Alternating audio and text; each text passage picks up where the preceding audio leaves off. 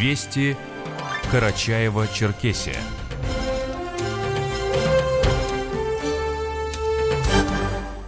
В студии с новостями Республики Рита Нерова. Здравствуйте, и вот некоторые темы. В Малокарачавском районе при проведении земляных работ обнаружены оружие и боеприпасы. Курортные зоны республики готовятся к летнему сезону. Четыре школьника Карачаева-Чекеси стали победителями и призерами Всероссийской Олимпиады по финансовой грамотности. И регион присоединится к Всероссийской акции «Марафон зеленых действий». Далее подробно. Вчера на центральной площади Карачаевска прошел траурный митинг памяти генерал-майора авиации, героя России Канамата Хусеевича Баташева, который героически погиб, выполняя боевые задачи. В мероприятии приняли участие глава Карачаева-Чекесии Рашид Тимрезов, заместитель главнокомандующего воздушно-космическими силами Министерства обороны России генерал-лейтенант Александр Максимцев, председатель Народного собрания Александр Иванов – премьер-министр республики Мурат Аргунов, представители общественных организаций, духовенства, жители Карачаевска, сослуживцы, друзья, родные и близкие Канамата Баташева. Канамата Хусеевича провожали в последний путь со всеми воинскими почестями. Траурный митинг начался с гимна в Российской Федерации и Карачаева-Черкесии, после чего председатель Координационного центра мусульман Северного Кавказа – Председатель Президиума Духовного управления мусульман Карачаева-Черкесии Исмаил Хаджи Бердиев совершил обряд дуа. За мужество и героизм, проявленные в ходе выполнения боевых задач, указом президента России генерал-майору Канамату Баташеву присвоено звание Героя России.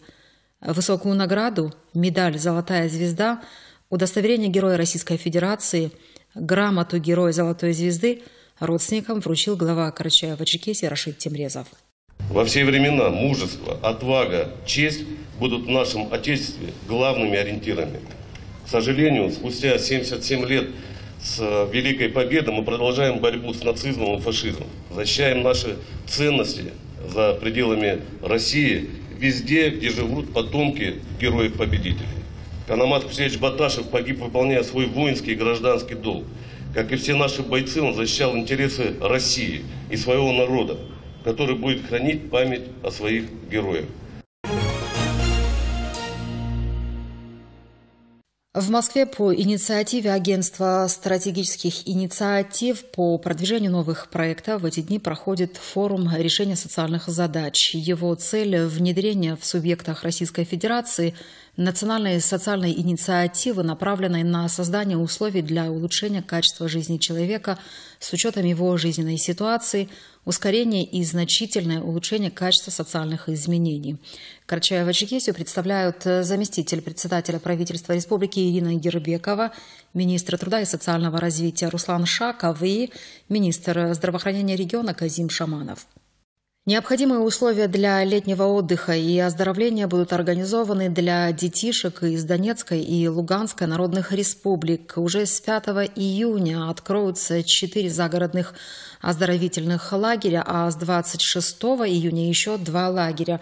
6 июня начнется прием детей в школьные лагеря дневного пребывания, рассказала заместитель министра образования и науки Республики Лейла Атаева. Да, мы все знаем, что у нас на территории республики есть э, люди, прибывшие к нам из э, Луганской и Донецкой народных республик, и, безусловно, у них есть дети, и эти дети э, также входят в приоритетную категорию детей, которые нуждаются в отдыхе. И поэтому, как только к нам поступят заявления от родителей о том, что просим предоставить путевку в тот или иной лагерь, конечно, конечно же, Министерство образования и науки Карачаево-Черкесской Республики через органы муниципальных управлений образования пойдет навстречу, и эти дети будут обеспечены путевками. Я хочу сказать, что с 5 июня у нас а, открывают свои смены, открывают свои двери загородные лагеря, такие как Селена, Гранд Виктория, Жемчужина Кавказа и Адель.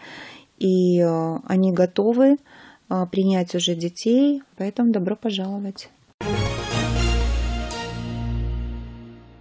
Министерство промышленности, энергетики и транспорта республики окажет финансовую помощь промышленным предприятиям республики. Это будет своего рода компенсация на уплату процентов по кредитам, взятым после 20 апреля на пополнение оборотных средств и потраченных на закупку сырья, топлива, незавершенное строительство, готовую, но нереализованную продукцию. При этом общий размер кредитных обязательств не должен превышать 250 миллионов рублей.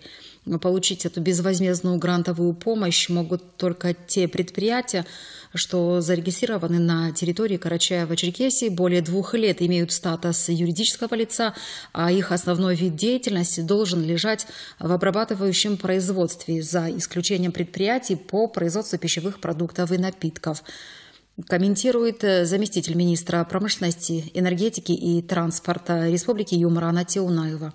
Мы понимали, что есть какие-то непредвиденные затраты у предприятий. И, возможно, даже что-то они взяли из тех средств, которые они планировали пустить в оборот, вот в оборотные средства на закупку сырья, возможно, они направили на то, чтобы закрыть обязательства, например, по договору, где уже, например, эти обязательства были увеличены в силу увеличения ключевой ставки.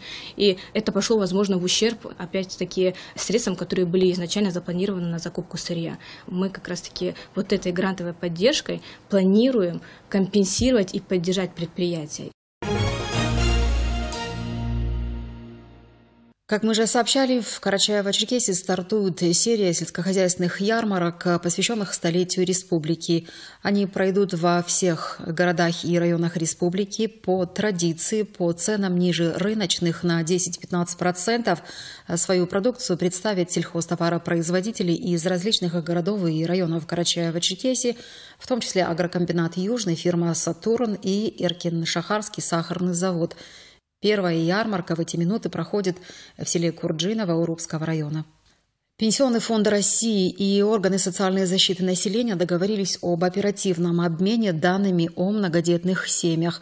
Соответствующие договоренности в течение мая были закреплены в действующих и новых соглашениях между региональными отделениями фонда и соцзащиты – Теперь имеющиеся в распоряжении социальной защиты сведения о многодетных будут поступать в отделение фонда ежедневно. Это позволит в более короткие сроки рассматривать заявления семей на ежемесячные пособия, введенные в этом и прошлом году по указам президента. Ранее информация о семьях, воспитывающих трех и более детей, направлялась в пенсионный фонд с меньшей периодичностью. Для подтверждения статуса многодетных родителей – Специалисты фонда делали запросы в органы соцзащиты, ответы на которые по действующему регламенту могут поступать до пяти рабочих дней. Оперативное обновление сведений в течение одного дня позволит исключить такие запросы и быстрее рассматривать обращения. Напомним, что при назначении пособий на детей от 8 до 17 лет и беременным женщинам э, статус многодетной семьи является основанием для льготной оценки имущества – Таким семьям при определении нуждаемости в пособии не учитываются жилье, транспорт и участки, выделенные в качестве меры поддержки государства.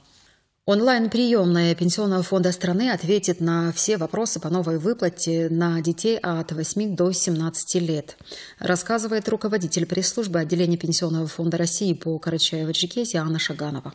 Если у вас есть вопросы по новой выплате для малообеспеченных семей на детей от 8 до 17 лет, или вы получили решение, но не согласны с ним, напишите в онлайн-приемную ПФР. Ссылка на онлайн-приемную размещена на официальном сайте Пенсионного фонда России. Все поступающие вопросы по новой выплате рассматриваются в течение пяти рабочих дней – если вы не согласны с решением, сообщите об этом в пенсионный фонд. Специалисты еще раз рассмотрят ранее направленное заявление с учетом ваших аргументов и перепроверят данные, поступившие от других ведомств. Обратиться по вопросам о выплате можно также на горячие линии региональных отделений пенсионного фонда или через единый контакт-центр по номеру 8 800 600 400 который работает в режиме 24 на 7, то есть ежедневно, в том числе в праздничные и выходные дни и круглосуточно. Звонок по России бесплатный. В Малокарачаевском районе при проведении земляных работ обнаружено оружие и боеприпасы. В отдел э, полиции обратился житель села Тереза и рассказал, что при проведении земляных работ на арендованном участке э, в полутора километре от э, села обнаружил предметы, внешне схожие с оружием и боеприпасами. Полицейские прибыли и оцепили место, обеспечивая охрану до прибытия саперов. При визуальном осмотре предварительно было установлено, что найденные предметы являются РПГ-7 и четырьмя выстрелами к нему, э, семью, десятью семью боеприпасами к подствольному гранатомету и частью винтовки. На боеприпасах имелись следы ржавчины, и в связи с высоким риском самопроизвольной детонации они были оставлены на месте. РПГ и части винтовки изъяты и направлены на исследование в экспертно-криминалистический центр МВД. При осмотре места происшествия обнаружены и изъяты еще две канистры, предположительно с патронами в количестве более одной тысячи штук. Не менее 300 жителей различных регионов страны, в том числе 10 жителей Карачаева-Черкесии, попали в сети двух аферистов – 36-летнего иностранца и 21-летнего россиянина, один из которых выступал в роли работодателя, а второй – медсестры. Мошенники были задержаны в Москве. Они разместили в интернете объявление о поиске водителей со стажем, с кандидатами общались по телефону, псевдонаниматель просил медицинскую книжку. Если таковой у кандидата не было, он предлагал свою помощь, мол, есть свой человек, который все оформит за две с половиной тысячи или 2700 рублей. Далее в разговор вступал подельник, который при общении менял голос на женский. Лжемедсестра, заранее узнав, из какого города звонит человек, сообщала адрес медучреждения, найденный в интернете, куда должен будет прийти гражданин, но только после оплаты ее услуг. В надежде получить работу потерпевшие перечисляли деньги на счет мошенников. Возбуждено уголовное дело. Иностранец заключен под стражу. Его подельник находится под подпиской о невыезде. Как мы уже говорили в наших выпусках, с 1 сентября текущего года начнет действовать дачная амнистия 2.0. Законопроект был разработан при участии Росреестра и направлен на дальнейшее создание для граждан комфортных условий для регистрации прав на свою недвижимость. О нюансах дачной амнистии расскажет и исполняющая обязанности начальника отдела государственной регистрации недвижимости Управления Росреестра по Карачаево-Черкесии Тамара Казбекова. Планируется дачная амнистия, а, она рассмотрена Госдумой в третьем чтении, называется дачная амнистия 2.0, и ею будут внесены э, изменения в отдельные законодательные акты Российской Федерации. Этот законопроект будет разработан при участии Росреестра, э, направлен на дальнейшее создание для граждан комфортных условий для регистрации прав на свою недвижимость. Безусловно, будут э, и изменения, которые затронут уже действующую дачную амнистию. То есть закон позволит решить проблему, как когда люди не в силах э, легализовать и оформить свое жилье, построенное еще в советский период. Ну, право собственности гражданин сможет подтвердить даже при отсутствии у него на руках правоустанавливающих документов. То есть такие дома могут числиться учтенными в старых документах, в совхозных, колхозных учетах, хозяйственных книгах, бывших поселковых советах и также в органах БТИ. На сегодняшний день, конечно, этого недостаточно, чтобы зарегистрировать право в несудебном порядке, но с принятием этого законопроекта это значительно позволит упростить гражданам оформление. Региональным Минтуризмом объявлен конкурс на определение лучших идей для их изображения в курортных зонах региона. Многометровые подпорные стены, расположенные на пути исследования к курортам Карачаева-Черкесии, будут разрисованы в стиле уличного искусства граффити специально приглашенными художниками – Оформление конструкции вошло в число мероприятий, организуемых Минтуризмом к столетию республики. Изображения, которые войдут в общую концепцию рисунка, выберут сами жители, а доработают их уже профессионалы. Макет будет утверждаться дополнительно. Яркие и интересные граффити украсят подпорные конструкции, расположенные вдоль трасс к курортам, и при этом хотим предоставить возможность всем желающим быть причастными к празднованию столетия республики и внести личный вклад в общее дело, рассказал министр туризма и курортов Карачая-Черкесии Расул Текеев. К созданию общей концепции рисунка в стиле стрит-арт Приглашаются дизайнеры и урбанисты, архитекторы и художники, а также все неравнодушные граждане, желающие изменять и улучшать общественное пространство. Авторские идеи, в том числе в виде изображений, можно направлять до 15 июня на официальные аккаунты Министерства туризма и курортов. Карачаево-Черкесия присоединится к всероссийской акции «Марафон зеленых действий», в рамках которой пройдет серия экологических акций, в том числе в формате субботников.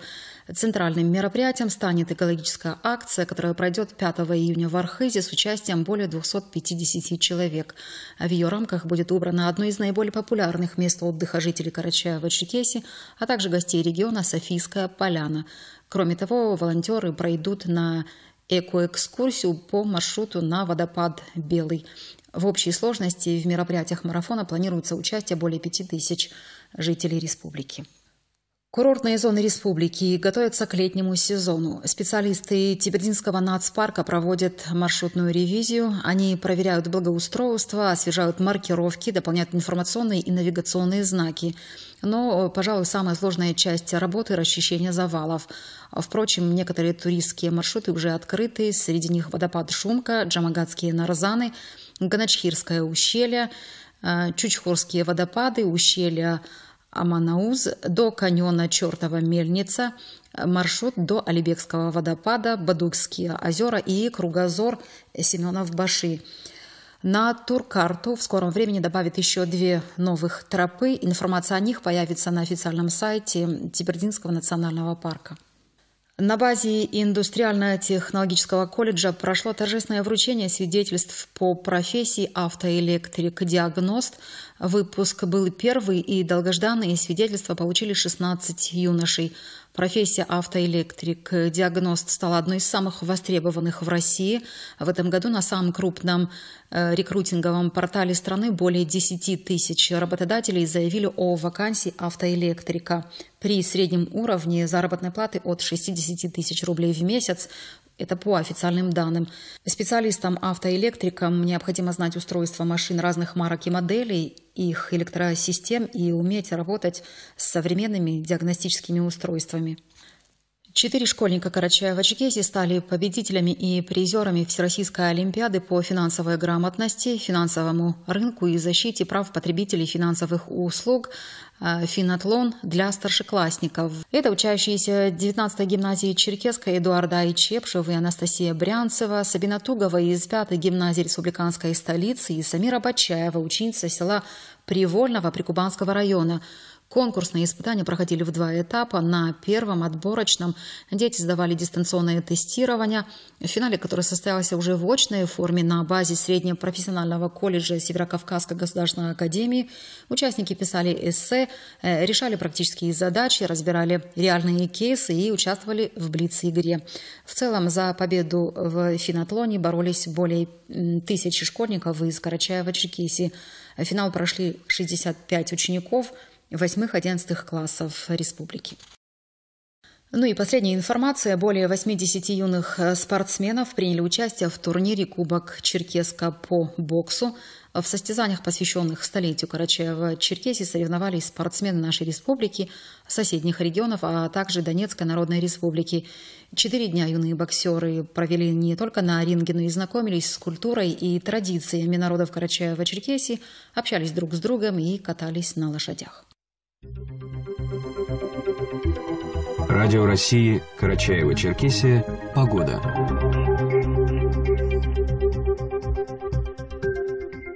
По сообщению синоптиков Республиканского гидрометеоцентра, сегодня по Карачаево-Черкесии переменная облачность, местами кратковременный дождь, гроза.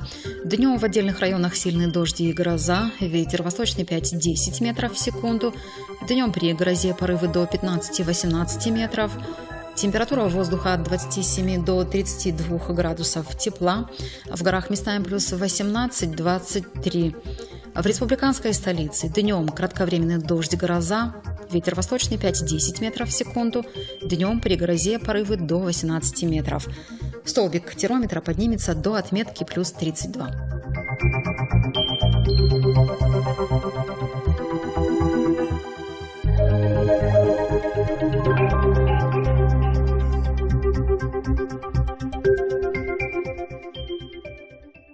На этом информационный выпуск завершен. Его провела Рита Нерова. Вы слушали Радио России Карачаева-Черкесия. До новых встреч!